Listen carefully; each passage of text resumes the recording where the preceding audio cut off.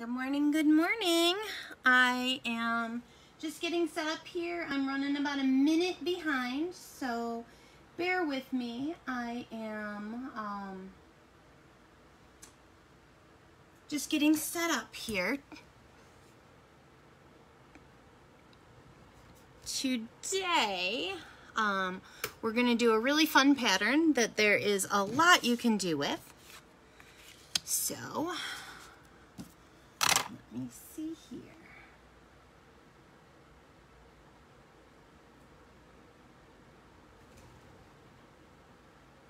All right. So we're going to get started. Um, the pattern that I'm going to use today is called Knase. It's spelled K-N-A-S-E, and it's an official Zentangle pattern. Um, I'm going to do, um, I'm going to demo the basic pattern for you. I am going to share with you a few different variations and then I'm also going to draw a couple of additional variations for you. So hopefully that will give you the opportunity to really kind of, you know, think about this pattern a little bit and maybe dive in and do some cool stuff with it. So, um, let's see here. If you were here last week, you know I ran into a little bit of technical difficulty when my internet went out. Unfortunately, technology is great until it's not. Um, let's see here. If I go off screen, if somebody can let me know, because unfortunately, um, I don't always know where my hands are. Um, but last week we did um, Emingle. And the week before that we did my absolute favorite pattern, which is Flux. Um, and today we're going to do Knase. So I am just looking for, huh. I had done some, um, a couple pre-strung tiles for today because I have a whole bunch of different ideas in my head and I was hoping to be able to do a lot of them, but I'm not sure where I put them, so that's fine. So the first thing I want to show you is this is a fairly um, standard version of Knase. It is flattened and it is done with a bolder pen and um, thicker strokes. I've also used it as a fill-in on Hollibaugh. So that's kind of fun. It gives you, you know, um, one way to use it, which is obviously you could use this as a string. You could use it as a fill. Um, and while it's traditionally a little more rounded, um, you can also flatten the pattern out.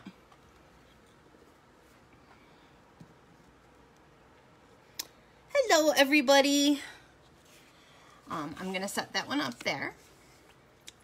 Then this is a different version of Knase. I have, let me slide that right there. All right. So this one is um, done in a round in a spiral. And as you can see, the triangles aren't colored in and I didn't do so much of the waves as added an additional pattern. We'll come back to these later after I draw the pattern too, so that you can kind of get a little bit more idea of, you know, some of the different directions you can go with. And then let's see. Then this one, I think this one's really fun. This is, I like to show you um, ways to take patterns that maybe are traditionally more um, grid-like or geometric and to turn them into some type of organic tangle. Just because sometimes it's nice to kind of think outside the box and to um, take something and go in a less traditional way with it. And with this, I've just put Knase in all these little, um, these little tendrils that I have in this little flower. And then I have also incorporated it right here into the, the button head on the flower. So it's just a fun way to kind of play with your pattern a little bit, do something a little different. Um, I don't know. I like to have fun with stuff. Sometimes it, it pushes you to have to think outside the box and go in a different direction than you might normally go. So I am going to plop down my tile here. Um, I am currently waiting on my new shipment of Zentangle tiles because, you know, pandemic. And um, so I am using watercolor squares. I'm still sticking to my traditional size, you know, my three and a half by three and a half. And um, I'm using a nice, a nice watercolor paper for this. So um, if you do not have, you know, traditional Tangle tools at home, which would be your 01 micron, your pencil, your tortillon. that's okay. You can work with what you have. Um, especially now when everything is a little, uh, a little off kilter. And um, you may not be going to the store as much as normal or whatever. So my number one thing I like to encourage people as you tangle is to just make sure that whatever tools you pick, whichever tools you decide to use, are ones that you enjoy using. Okay? All right, so let's get started. So I'm gonna start with my dots, turning my tile.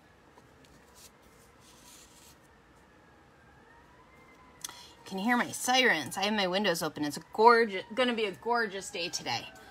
Um, not too hot, not too cold, but I do live downtown, so I do get sirens from time to time. I thought the fresh air was worth it today, though. Um, I might give it a minute, though, so that you can hear me.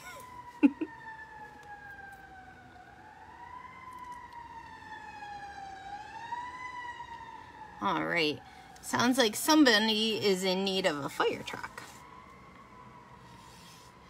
All right. Fire trucks don't bother me. I actually grew up across the street from a fire department. So, um, it actually kind of felt like home when I moved into an apartment around the corner from fire trucks. So with Knase, right, um, you start out with two lines.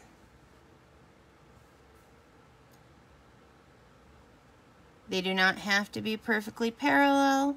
In fact, a lot of times they're not. They start wider at the bottom, they narrow up in a ribbon. Okay. You could add, um, and maybe we will. You could add a little bit of a border on here if you want to. I like it with a border. Some people do, some people don't. I just think that it adds a nice little touch. All right, and then you're going to start by adding triangles, like a zigzag, all the way across your ribbon. I always have to start not quite on the edge, otherwise I get confused. Okay. Pretty simple so far. We're gonna go in. We're gonna add a little aura. And if I put placed a border, I like to make it about the same distance. And this is an inside aura. Okay, I like to think of these as the top triangles and the bottom triangles. I haven't had a lot of caffeine today, so my lines aren't terribly straight. And also, I have been up since way too early. All right, so I have, I have those triangles in place. Now I'm gonna go back in and I'm going to leave another little bit of a space and I'm gonna make another triangle, another aura, right? So I'm following along that line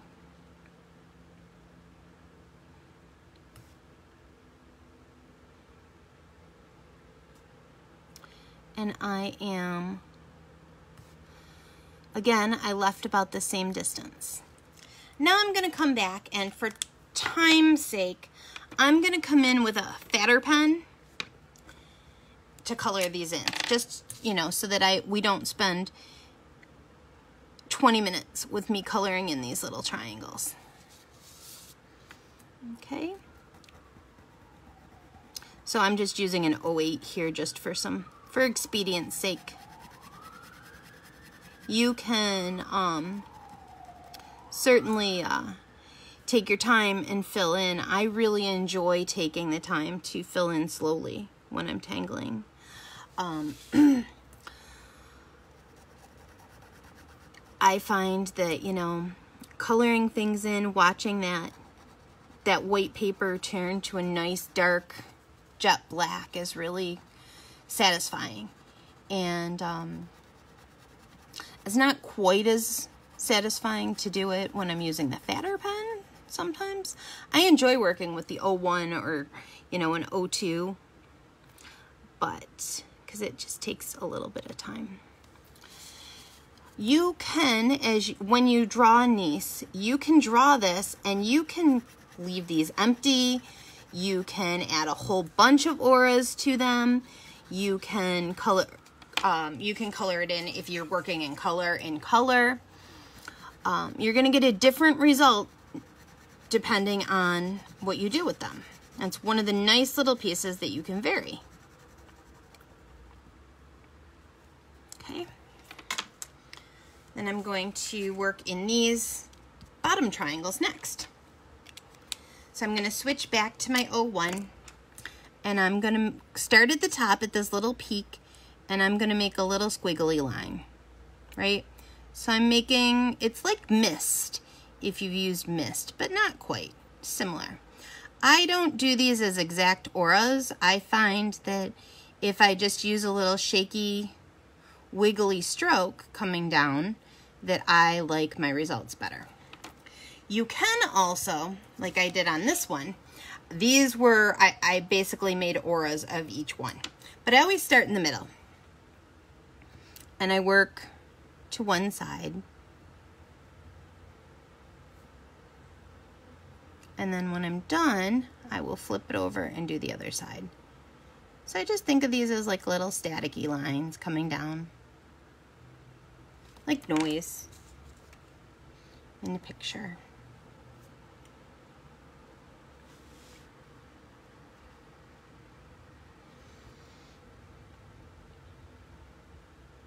All right.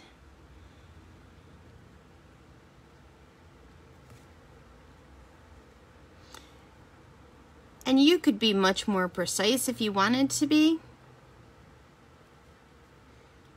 It really, it really depends on the look that you're going for.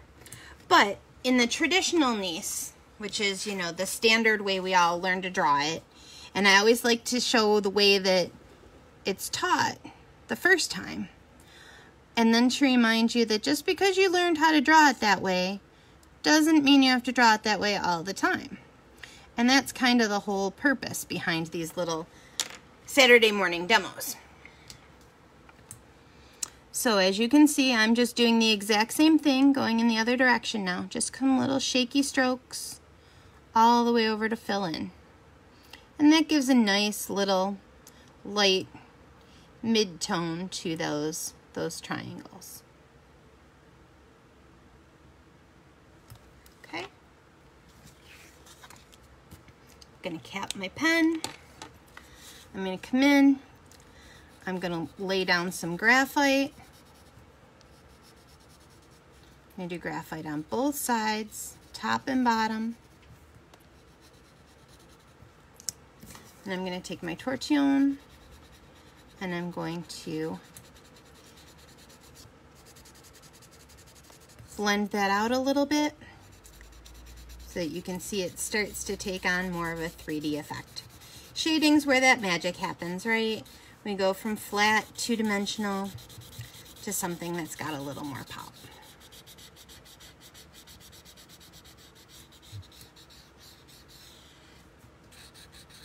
So one of the things that I have discovered over time is that especially if you use a wider or fatter pen, um, if you use your tortillon over top of a lot of dark, sometimes you get a shiny look or sometimes your paper, your tortillon kind of drags on the paper. So you can always just avoid that as you go, or I tend to just lighten my pressure. Okay, just a little, a little hint there, just something to think about. All right, so I'll set that one off there. So as you can see, like I mentioned on this one, um, I didn't fill these in. I didn't color these ones in. I did do the auras, but then I just did a little bit of, of shading in there and it looked completely different. And you can see I rounded this one as well, whereas this one I had left flat. Okay, so this one has a tons. Of, this one actually makes me think of um, both zebras and rulers. So um, zebra rulers, I guess. And um, I guess that's how you would measure a zebra. But um, what I liked about this is that it um, it really demonstrates how just not shading the inside edge here really gives it a completely different look. All right, so next, this one I did pre-string. Um, this is the only one that I can find of the ones I pre-strung. so, you know, some mornings I like that. Um, let's see here. I am going to go in here and these, all I did here is I just made a couple of little loops, okay? So almost like shepherd's hooks.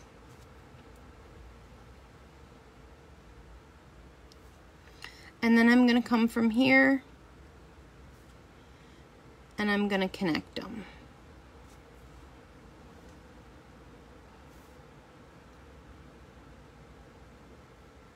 Okay.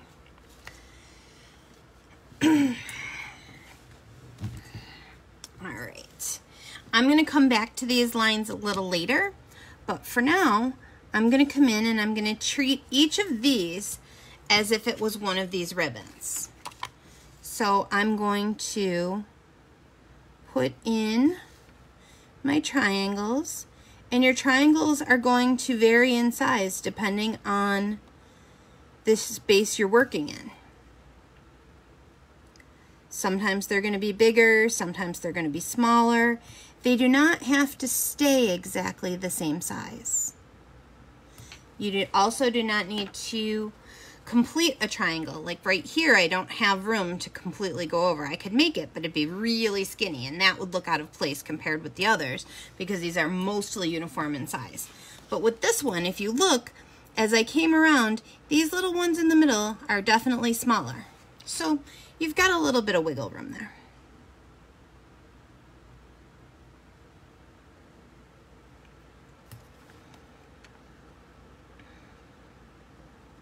Okay, so I have my, my triangles done. I'm gonna go in, I'm going to skip my aura this time and I'm going to, I'm using my fatter pen again, just again for expedience sake. I'm just going to add in some little triangles.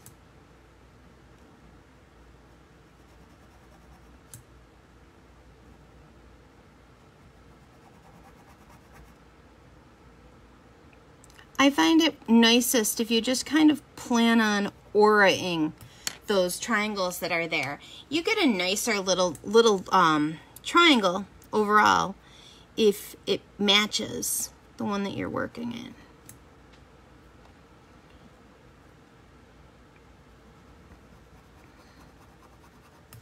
You could use these, um, these always remind me kind of those little pendant flags that they have for like birthday parties and stuff when I'm first working in them. You could always fill in these little pendants, these little, um, triangles, you could fill those in with a different pattern too. So whereas I'm filling these in where they're all solid black right now, you could do stripes or polka dots or flux or anything you wanted. And sky's the limit. There is no wrong with this. You cannot make mistakes in Zentangle, which is good, especially on days you don't have a lot of sleep.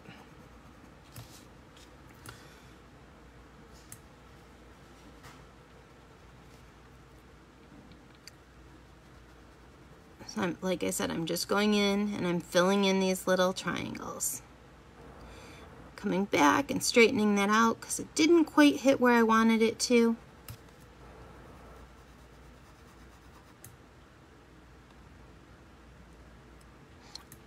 Facebook Lives are um, I like them. I do. It just feels a little weird sometimes because I feel like I'm talking to myself because I can't really read and draw at the same time. So I don't necessarily see when people are talking to me. And I don't necessarily um, get the, uh, or I don't necessarily have the opportunity to be carrying on a conversation. So that always feels a little weird. Um, okay. I'm going to come back in here and I'm going to just add, this is one of my favorite things to do. Instead of doing like something really complicated in here, sometimes I just like to do a little squiggle. And then I add like a little, a little bubble. And you could add multiple of these if you wanted to. So I could do something like this.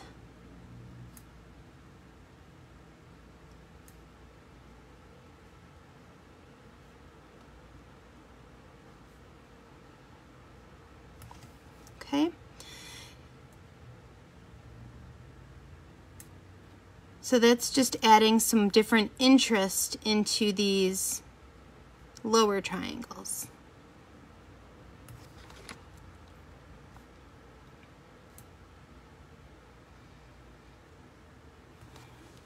Changes it up a little bit, gives you, you know, some variety. And one of my favorite things is to add variety to just some of my favorite basic tangles. You could, um,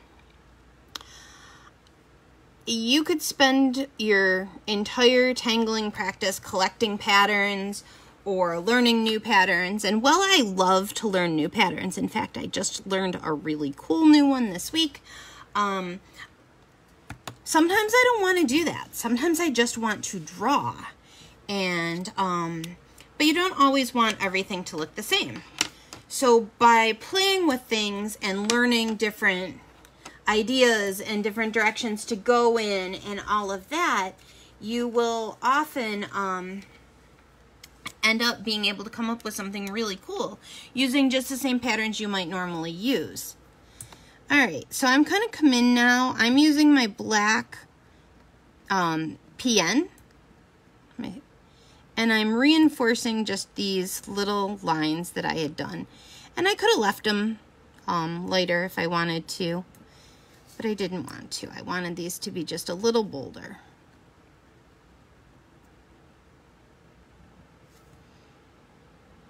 So these little hooks.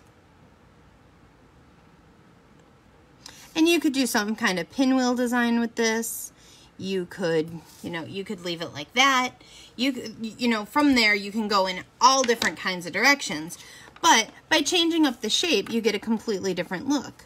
You can also go in, and I wanted to show you this, if you add your, um, your graphite along these, I always think of them as seams, you know, where two patterns meet on either side.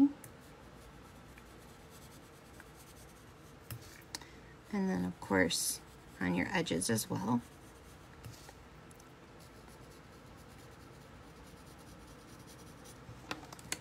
Again, I'll come in with my tortillon and blending it in, just softening that lightly.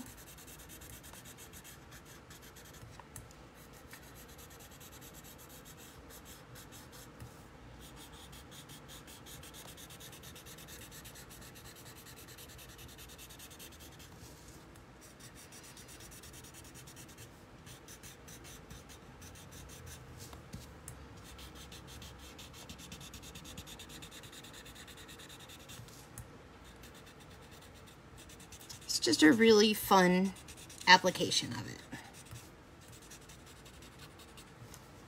All right. So let's see. Hmm. Um, something I always like to talk about that um, you can use. I'm not going to demonstrate it because I like to give you, you know, six different ideas, kind of six or seven ideas in the half hour that I usually do this on Saturdays. Um, but something you can, a way you can use almost any pattern is in a border.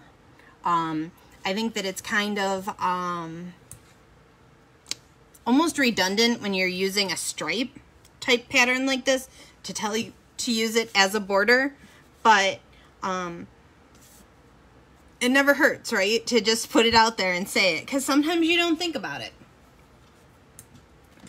Um, but what I am going to do right now is I am going to show you, slide these out of the way a little bit, is I am going to show you, if I come back in, I start with my dots,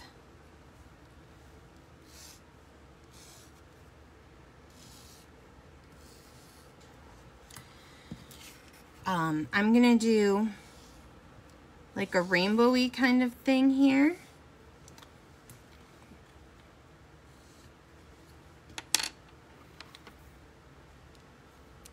And I'm going to draw in my some triangles because I want to show you the difference now in what happens when you change up the way you draw your triangles.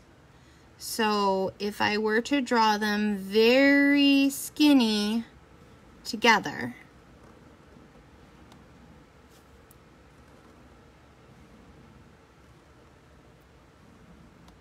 you're going to get a very different look than if you draw them far apart.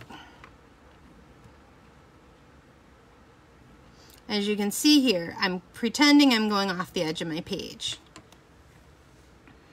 well, I'm pretending to continue to draw so that I can go off the page here. And I always just pretend as if I'm actually drawing it.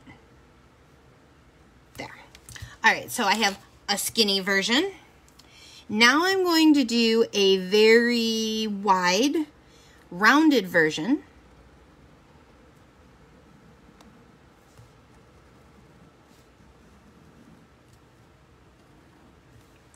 And I have to laugh because I always say I'm give I want to give you, you know, mm, six or seven ideas. But then I find ways to do this where I'm actually showing you other ways to do things. Um, just because I think that it's important that you can see that the same pattern doesn't have to always look the same.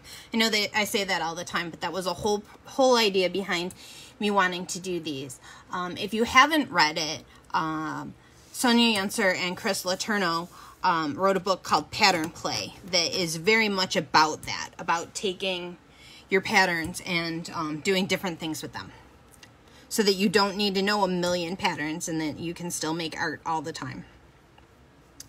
All right, so then let's see. So I did really skinny and I did uh, wide and round. Now maybe I will go with, um, hmm, Hmm, hmm, hmm. You know what? I'm just going to go with a basic triangle. There. So you can see we have three different things going on here. So this is a monotangle and all of this is going to look completely different. So I have to decide where am I going to, it, is this my top or is this my top? And I think I'm actually going to go this way. So I'm going to add in my auras, my internal auras on these. I'm going to add an internal aura on these as well. And I'm keeping that about the same.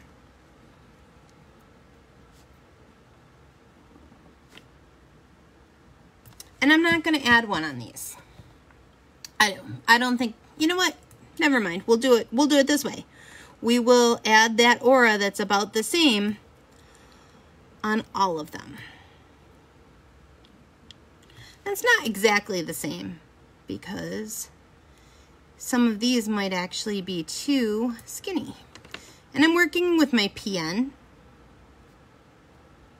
just because I think sometimes that's easier for you to see than my O1. Okay. And now I have to decide how I want to finish these. These, it's going to be really easy. I'm going to come in and I'm going to add a little triangle. And I left much more of a space in between here at this time. And if you notice, I haven't drawn in my dark lines in between these. We could have, but I just think that it's a nice change to not necessarily define that. We will on the spot or on one of these. I maybe the middle one. I haven't decided yet. We'll see how it goes as we go. All right, so let's see. I'm going to come here and I'm going to add more curvy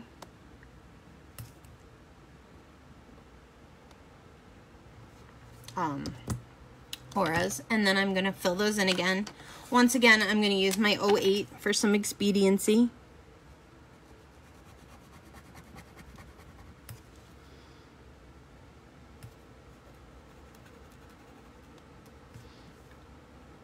The nice part is if you do actually um, make these wider ones, you don't get quite as many.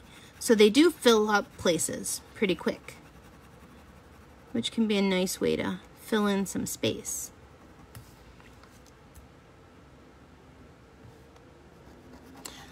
I always like to have a unifying feature when I do monotangles like this where I'm kind of playing with them and varying the different different patterns right and I could could have drawn it like this too um, and that was the way I have been drawing it but because I, of the way I'm working I just find it easier to to draw up.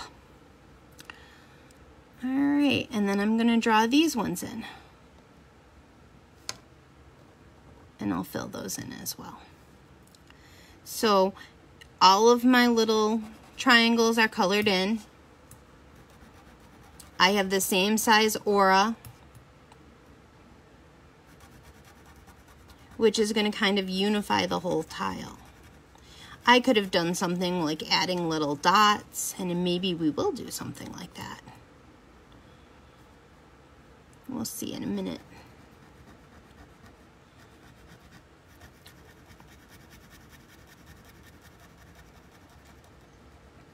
There we go. Okay, so now we have the bottoms to deal with. What do we want to do with those bottoms? Um, I think we will do some, what do we want to do here? We could do so many things. I think we're just going to do some stripes. Some simple little stripes.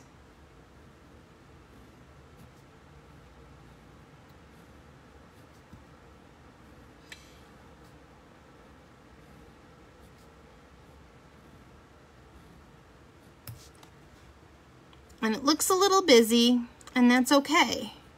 Sometimes tangling looks busy, and you can come back in and you can, you know, either add some, you know, some different elements or some shading, and it will really pull everything together. But also, if you're doing something and you're not sure whether or not you want to do more, remember that negative space isn't a bad thing either.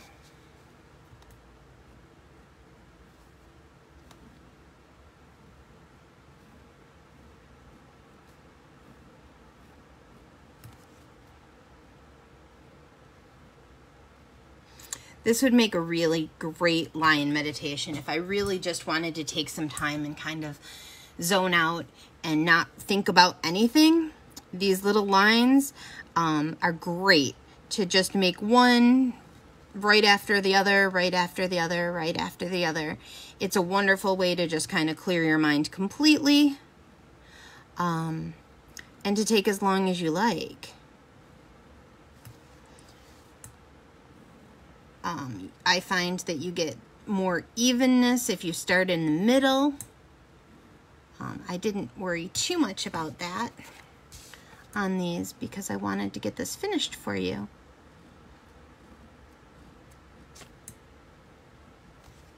Okay, so we have the three here.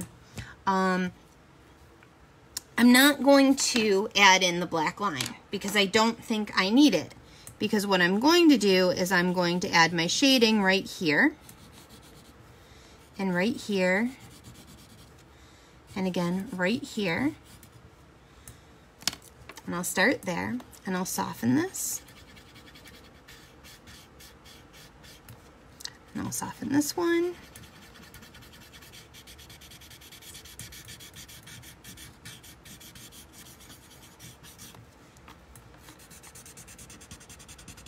And then I'll soften this one. And that gives a nice, like, the edge of a spirally kind of shape going on. Okay.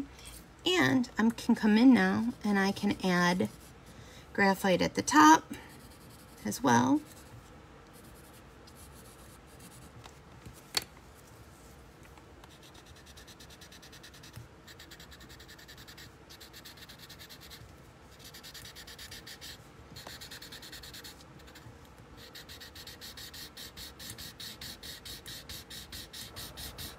And there we go. So, as you can see, Knase is a fun little pattern that you can do some cool stuff with, that you can vary um, without a whole lot of, you know, different effort. Um, and get some really great looks. So it's one of those patterns. Every time I do a, um, a Facebook Live, I look around and I take a look and see how many ideas and things are out there um, how many people are using this pattern. And this is one of those patterns that's been around since the towards the beginning. And there's not, uh, not a lot of it in a lot of artwork. So I encourage you to maybe think about using this one, maybe give it a shot. Um, I'd love to see what you do. Um, if you, you know, if you want to watch this again, this video will stay up. I will also have uh, the sheet where I have these ideas on it posted later today. Um, if you are interested in any classes or any workshops or anything, you can always check out my website at whimsybykelly.com. Um, my newsletter is coming out this week with next month's classes, and I would love to see you in any of those. Um, if not, I will see see you back here next Saturday. Everybody have a great day.